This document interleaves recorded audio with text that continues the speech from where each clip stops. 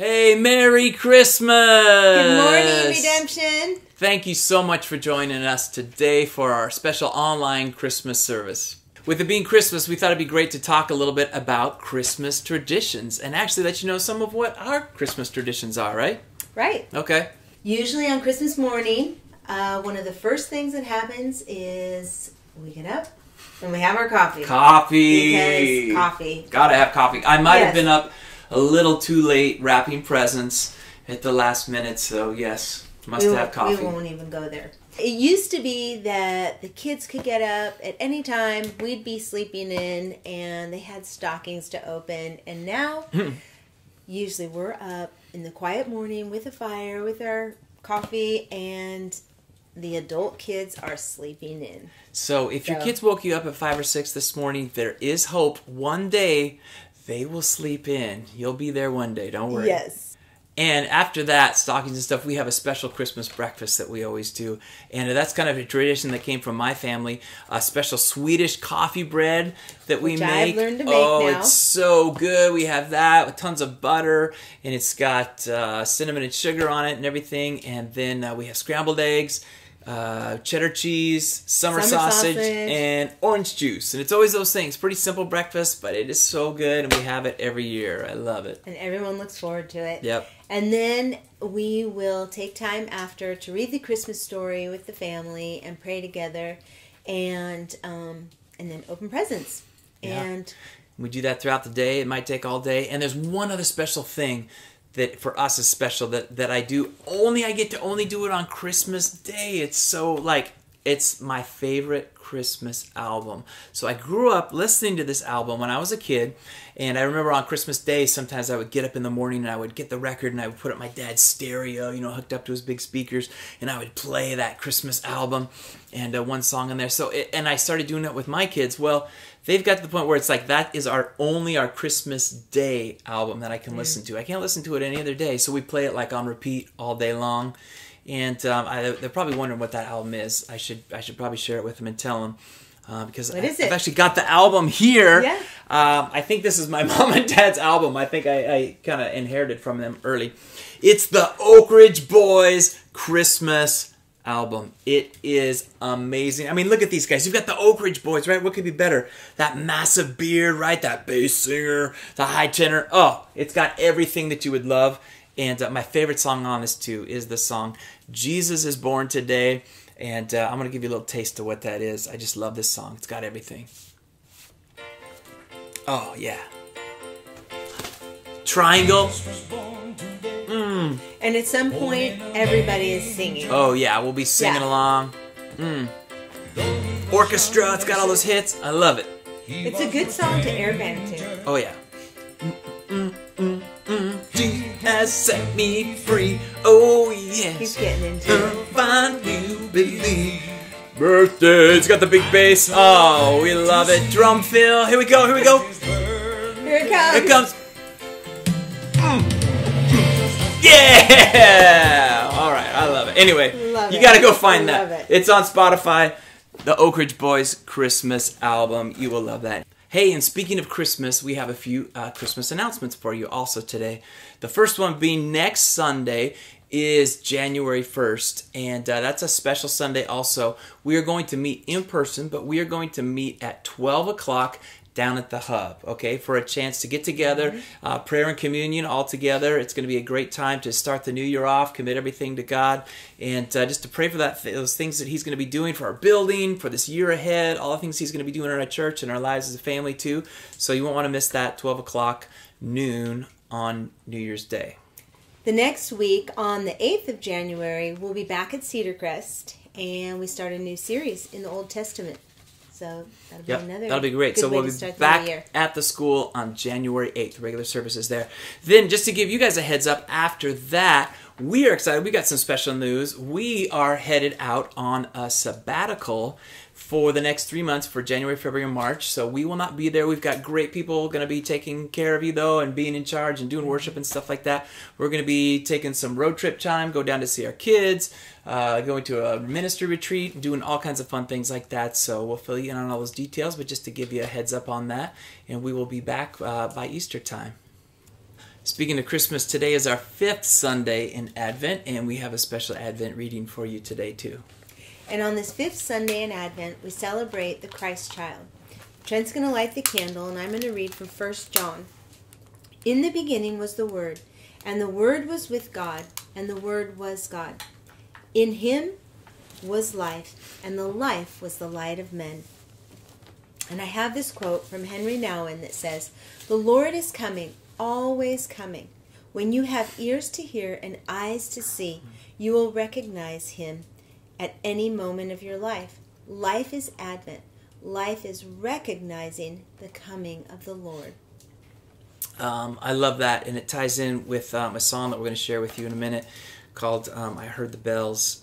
And this song was written by a guy who faced some very severe hardships in life.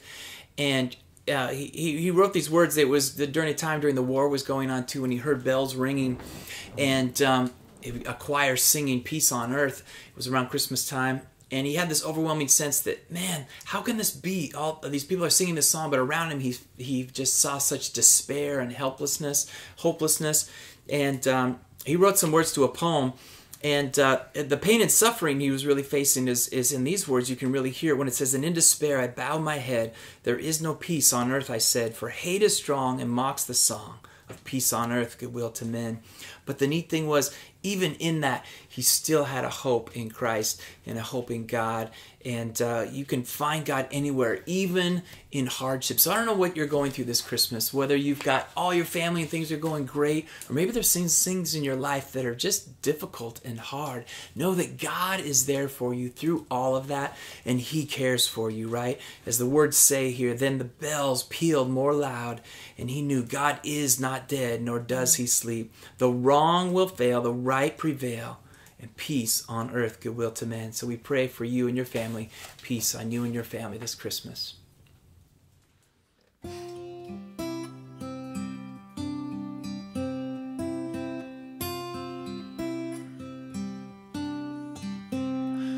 I heard the bells on Christmas Day, their old familiar carols play, and wild and sweet the words repeat of peace on earth, goodwill to men.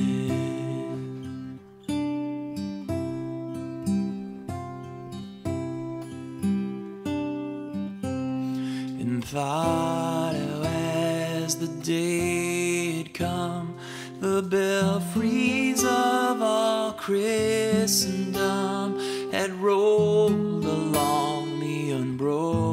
unbroken song of peace on earth, goodwill to men. I can hear them. I can hear them. I can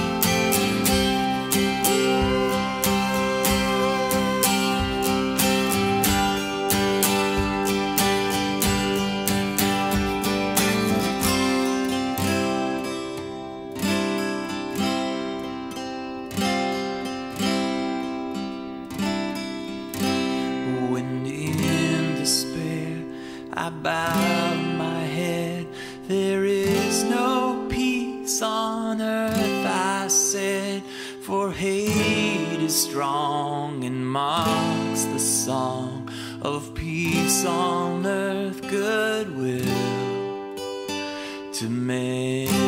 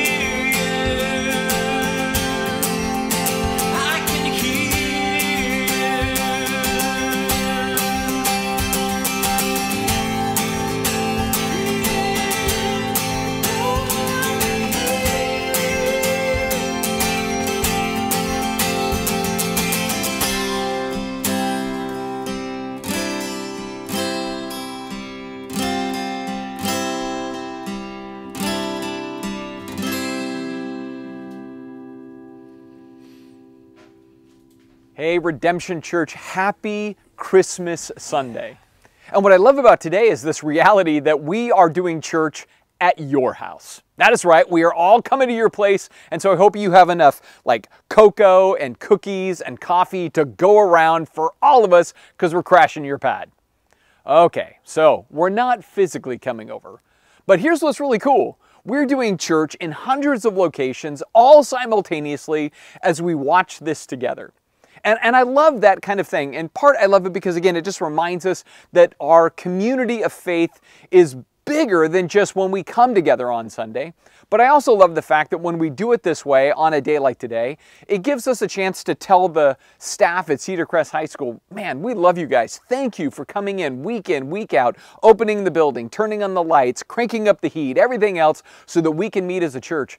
See, today they are able to be at home with their loved ones. We're giving them the day off. We've actually compensated them for this day as well, just to say we love you. Thank you for what you do.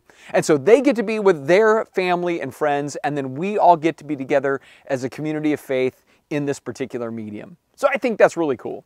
The other thing I think is really cool is the fact that Christmas is in fact falling on a Sunday. And it reminds me of how this is the confluence of different parts of the Jesus story that really should speak to our hearts. In fact, you may not be aware of this, but the early church was predominantly Jewish, and in the Jewish uh, legal code and system, there was a particular day of the week that was meant for rest. It was the Sabbath, and that was on Saturday. But when the early Jewish converts to following Jesus wanted to worship Christ, they said, well, we don't want to violate the Saturday Sabbath. That's a part of our tradition. And so they began to meet on Sunday, the first day of the week. But they called that the Lord's Day. And they did that because it was the day that commemorated when Jesus rose from the dead. And so, in an interesting sort of way, when we take sort of the day that we celebrate his birth and how it coincides on the same day that we celebrate his resurrection, I just think about how that kind of ties the whole story together.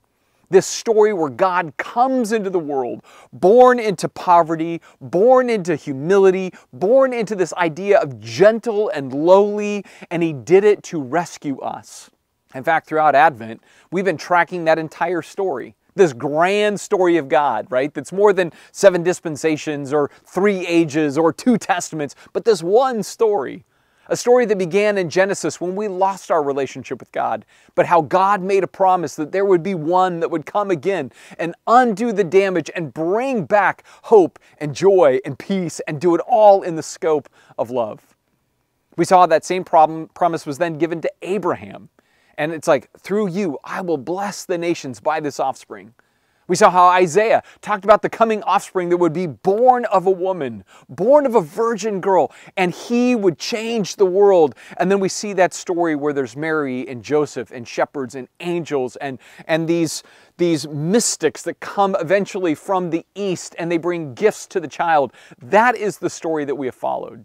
And yet, what I think is most amazing about that story is the more grand and eternal nature of it that before Eden, before Magi and teenage kids in the middle of the Middle East having this child that is thrust upon them, right, as the great story of God, we see that God's story goes all the way back to eternity past.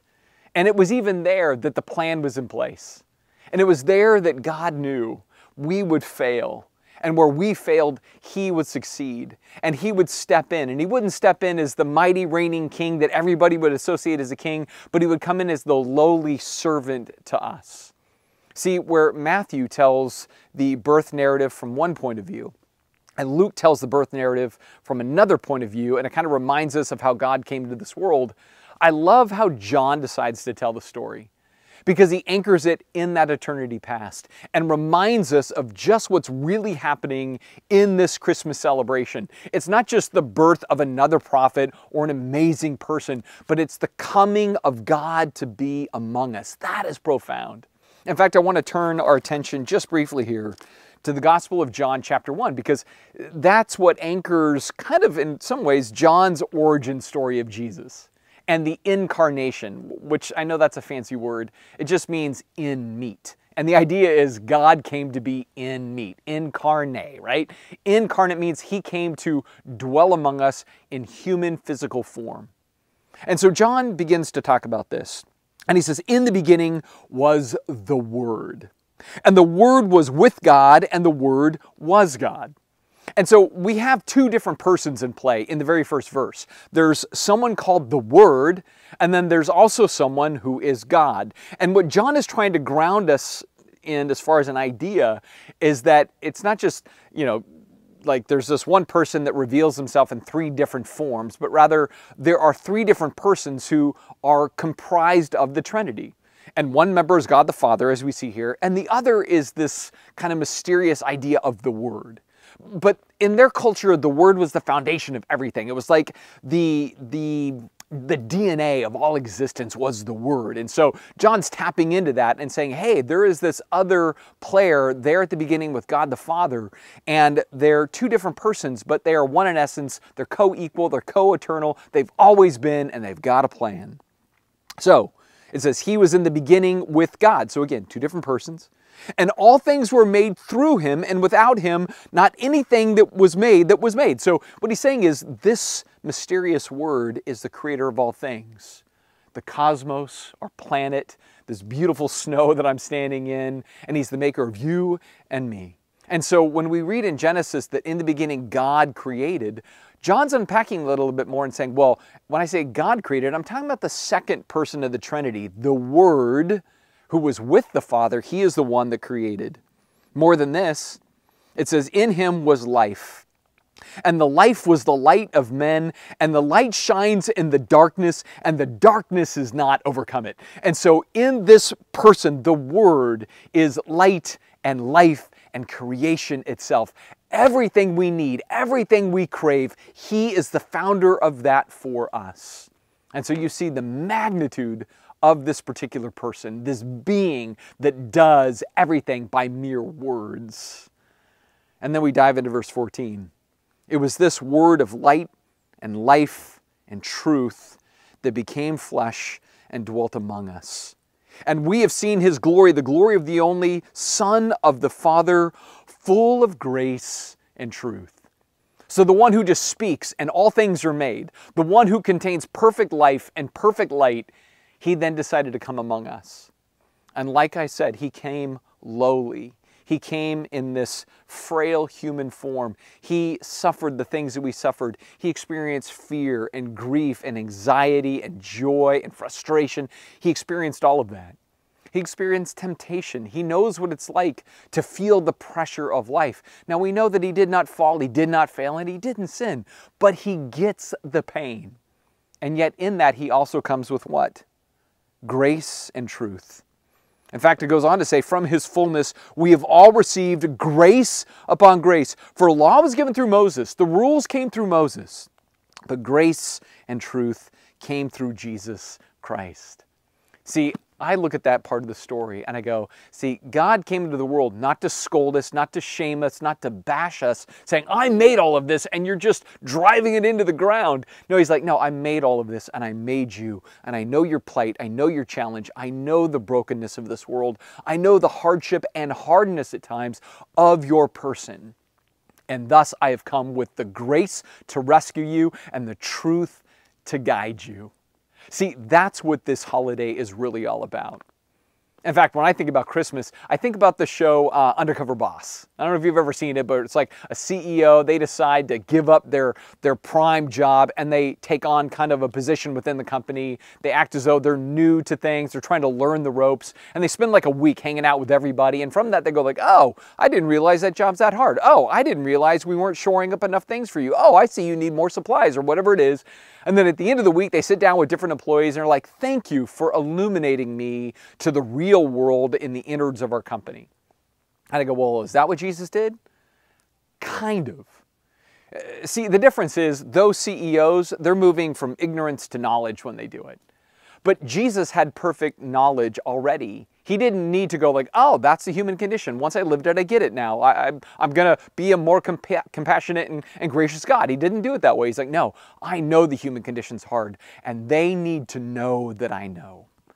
And so I will come and I will dwell among them. I will I will experience what they experience. I will feel the fatigue of the human condition so that they know man, my grace is sufficient. My love runs deep. I am willing to go to the depths to rescue you. That is the beauty of the incarnation. That is the story of this child that we celebrate born today. That is what we most care about because God so cared for us. And so on this Christmas morning, I pray that you are encouraged. I pray that you feel the sense of God's peace and joy and hope and love, and that you know how far God is willing to go for you. Right? That it's not shallow, it's not religious, it's not sappy, it's not hard, cold, and crusty. You know, like no, like God says, I love you so much. I'm so passionate for you. I will come and be just like you so that you can know me. And from that, you can have life, and you can have life abundantly. Hey, thanks again so much for being a part of our online Christmas service today. We hope you guys have a fantastic Christmas day, have a great New Year's, and we will see you again on January 1st, 12 o'clock, down at the lot. Okay, take care. Merry Bye-bye. Christmas. And Trent's going to light the candle, and our scripture is in John 1. And it says, In the beginning was the Word, and the Word was with God, and the Word was God. We should do this Start again. Over. Yeah. How many clicks? click, click, click, click. That's like a click.